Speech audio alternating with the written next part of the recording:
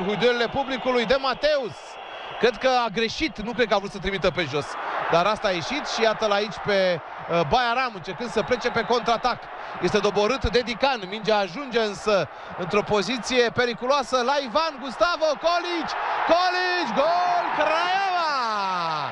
Elvir Colici!